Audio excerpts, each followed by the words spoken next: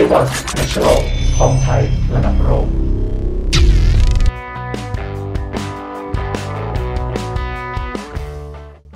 สวัสดีแฟนๆเดว่าทุกท่านนะครับวันนี้เราอยู่กับ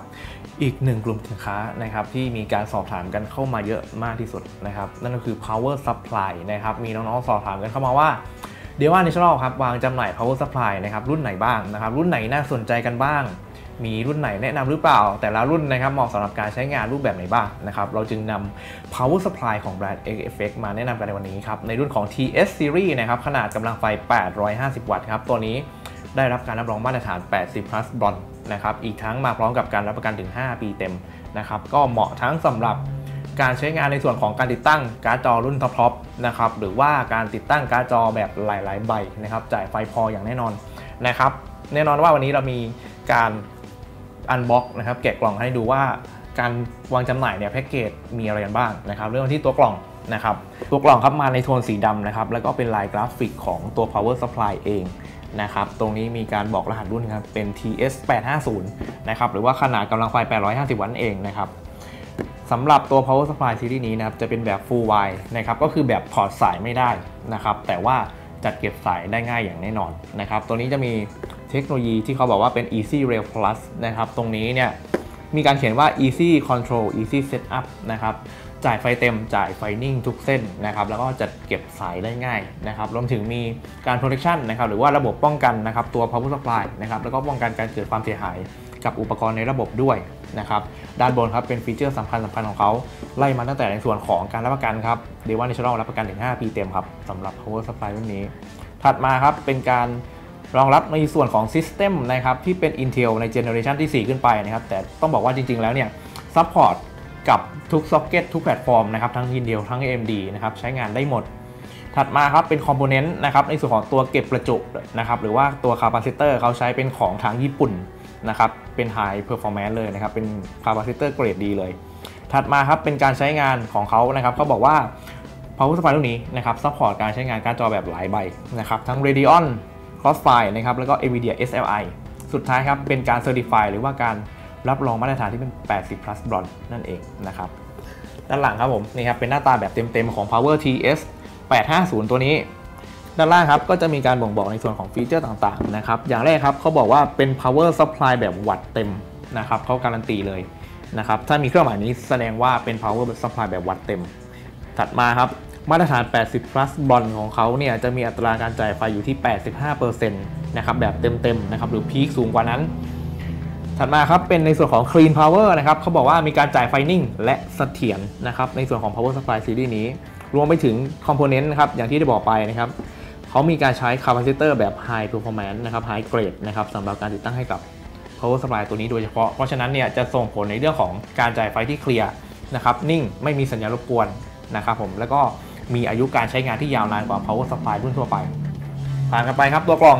ของแถมภายในกล่องครับ ก็จะมีในส่วนของ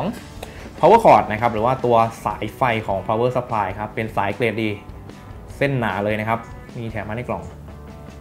อย่างที่ 2 ครับ เป็นน็อตยึดนะครับ ตัว power supply ภายในเคสนะครับ มีมาให้ 4 ตัว แล้วก็สุดท้ายเป็นหนังสือ ในส่วนของคู่มือการใช้งานของ TS Series ทั้งหมดนะครับสำหรับรุ่นมาจำหน่ายของ d ว่านะครับก็จะมีขนาดกำลังไฟ 550 วัตต์ 650 วัตต์ และก็ 850 วัตต์สำหรับ Series TS ด้านในก็จะมีในส่วนของรายละเอียดต่างๆนะครับมีการบอกว่าเทคโนโลยีของเขานะครับ แต่ละอย่างเนี่ยเป็นอะไรบ้างนะครับสำคัญอย่างไรนะครับ มีบอกไว้ทั้งหมดแล้วนะครับรวมไปถึงสเปคชีตครับรายละเอียดค่อนข้างครบถ้วนนะครับสำหรับใครที่อยากทราบรายละเอียดแบบเจาะลึกก็ดูได้ในส่วนนี้ รวมไปถึงวิธีการติดตั้งนะครับ ติดตั้งยังไงวิธีการแก้ไขปัญหาเบื้องต้นนะครับ ของ power supply เป็นยังไงนะครับ ก็มีบอกไว้ทั้งหมดนะครับรวมไปถึงเงื่อนไขการรับประกัน ครบครับในเล่มเดียว เอาละครับเรามาดูรายละเอียดของตัว power supply กันสำหรับ power supply นะครับของทาง XFX เนี่ยจะไม่ได้มาเป็นแบบกล่องสี่เหลี่ยมปกตินะครับ แต่ว่าเขาจะใช้ในส่วนของการออกแบบที่ดู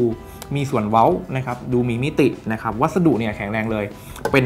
อลูมิเนียมเกรดหนามากๆนะครับ มาในโทนสีดำนะครับ ตรงกลางเนี่ยจะมีในส่วนของโลโก้ X Effect ติดอยู่นะครับ ส่วนตำแหน่งด้านหน้าตรงนี้จะมีการเจาะช่องนะครับสำหรับการดูดลมเข้าไประบายความร้อนนะครับ เจาะเป็นช่องตะแกรงแบบแปดเหลี่ยมนะครับ แข็งแรงนะครับ กดไม่ลงเลยนะครับ บอกได้เลยว่าวัสดุเกรดหนามากๆนะครับ ส่วนพัดลมด้านในครับ เป็นพัดลมขนาด 135มิลลิเมตรนะครับ พัดลมขนาดใหญ่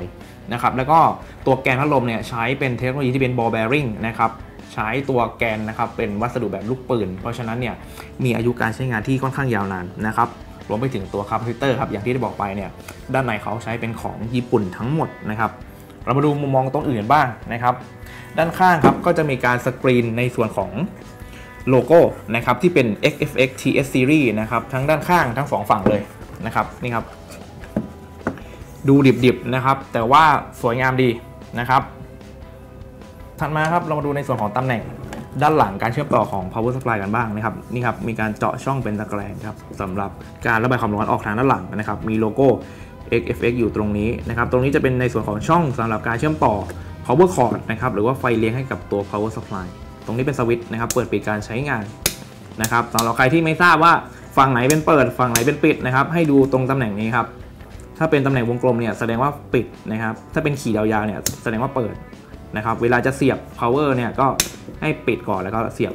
นะครับ ถึงจะเปิดใช้งานแบบนี้ถึงจะปลอดภัยนะครับ ถัดมาครับเป็นในส่วนของสเปคของมันบ้างนะครับ ตรงนี้จะมีการติดในส่วนของลาเบลที่บ่งบอกว่าสเปคนะครับจ่ายไฟเป็นยังไงบ้างนะครับ ตรงนี้ครับยังคงมีในส่วนของการสกรีนนะครับโลโก้เป็น XFX TS Series นะครับ850นะครับตรงนี้เป็นรหัสรุ่นนะครับ ถัดมาครับตรงนี้เป็นส่วนสำคัญในการจ่ายไฟนะครับ ไล่มาตั้งแต่สเปคนะครับที่เป็นเฟสการจ่ายไฟที่เป็นบวก 3.3 โวลต์นะครับแล้วก็บวก 5 โวลต์เนี่ยเขาจะจ่ายไฟรวมอยู่ที่ 150 วัตต์นะครับถัดมาครับเป็นเฟสการจ่ายไฟแบบ 12 โวลต์นะครับซึ่งสเปคในส่วนตรงนี้เนี่ยหลาย ๆ ท่านใช้เป็นปัจจัยในการเลือกซื้อ power supply เลยนะครับสำหรับ TS850 ตัวนี้นะครับเฟสการจ่ายไฟบวก 12 โวลต์เนี่ยเป็นแบบ single rail นะครับหรือว่ารางเดี่ยวนะครับจ่ายไฟเต็ม ๆ นะครับที่ 840 วัตต์นะครับเพราะฉะนั้นเนี่ย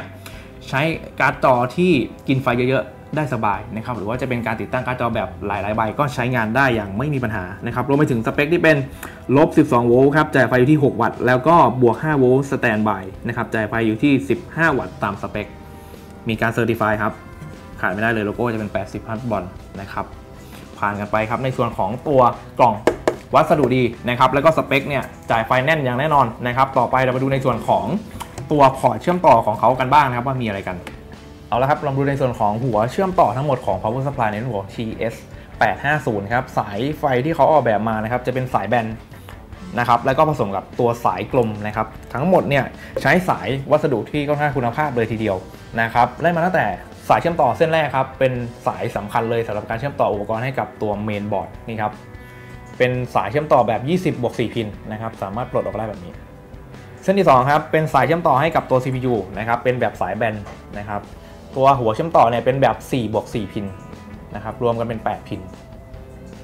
อย่างที่ 3 ครับ เป็นสายเชื่อมต่อสำหรับการ์ดจอนะครับมีมาให้ 2 เส้นนะครับแต่ละเส้นมีหัวเชื่อมต่อ 2 หัว โดยหัวเชื่อมต่อทั้งหมดครับเป็นแบบ6บวก2พินนะครับหรือว่า 8 พินนั่นเองนะครับก็แล้วแต่เลยครับติดตั้งการ์ดจอ2ใบ3ใบสบายนะครับ ถัดมาครับเรามาดูสายเชื่อมต่อที่เป็นแบบโมเลกกันบ้างนะครับเขามีแถมมาให้ 2 เส้นนะครับแบบนี้เส้นแรกครับมีหัวเชื่อมต่อโมเลกแบบ 4 พินมาให้ 3 หัวด้วยกัน ส่วนโมเลกอีกเส้นหนึ่งนะครับจะเป็นหัวเชื่อมต่อแบบ 4 พิน 4 หัวนะครับแบบนี้ แล้วก็มีแถมมาให้เป็นหัวแบบ FDD 4 พินนะครับสำหรับการเชื่อมต่อ floppy drive นะครับหรือว่า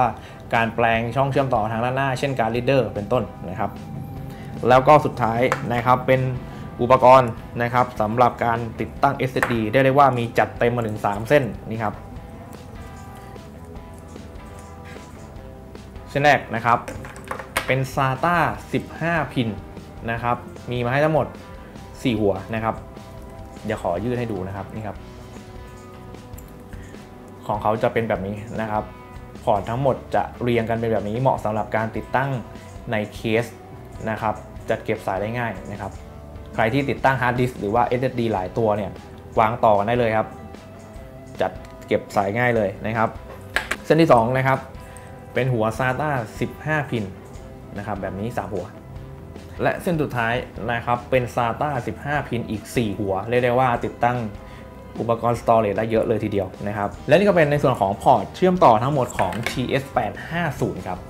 ครบถ้วนกันแล้วครับสำหรับการแนะนำ power supply นะครับในรุ่นของ XFX TS850 ที่เรานำมาแนะนำกันวันนี้นะครับสำหรับ power supply ตัวนี้นะครับ support ทั้งในส่วนของ system ขนาดเล็กไปจนถึงขนาดใหญ่นะครับซึ่งต้องบอกว่าอุปกรณ์ IT นะครับในยุคปัจจุบันเนี่ยเขากินไฟน้อยกว่าเดิมเยอะนะครับโดยเฉพาะในส่วนของสินค้าที่เป็นการ์ดจอนะครับรุ่นท็อปๆเนี่ยกินไฟมาเยอะแล้วนะครับเพราะฉะนั้นเนี่ย power supply นะครับขนาด 850 วัตต์แบบนี้นะครับ support ทั้งในส่วนของการติดตั้งการ์ดจอใบเดียวนะครับติดตั้งการ์ดจอหลายใบนะครับหรือว่า system ขนาดใหญ่นะครับที่ติดตั้งพัดลมหลายตัว ติดตั้งชุดระบายความร้อนด้วยน้ำนะครับแล้วก็อื่นๆเนี่ยสามารถ support นะครับครอบคลุมหมดสำหรับขนาดกำลังไฟถึง 850 วัตต์นะครับผมเอาเป็นว่าใครที่สนใจนะครับ power supply ประกัน 5 ปีจ่ายไฟนิ่งๆนะครับพอร์ตเชื่อมต่อครบนะครับก็ ให้ลองสอบถามนะครับหรือว่าสั่งซื้อนะครับกันเข้ามาได้ที่เดว่าดิจิทัลนะครับเรามีวางจำหน่ายแล้วนะครับทั้งในรุ่นของ TS Series นะครับที่เป็น 550 วัตต์นะครับ650 วัตต์และก็ 850 วัตต์ส่วนใครที่อยากได้ power supply นะครับที่จัดเก็บสายง่ายขึ้นมาสักหน่อยนะครับเรามี power supply ที่เป็น XTR series จากแบรนด์ XFX เหมือนกันนะครับสามารถสั่งซื้อกันเข้ามาได้นะครับทั้งผ่าน หน้าร้านนะครับผ่าน inbox เฟซบุ๊กของเรารวมไปถึงช่องทางที่เป็น Lazada นะครับเรามีบริการส่งฟรีถึงบ้านเลยนะครับ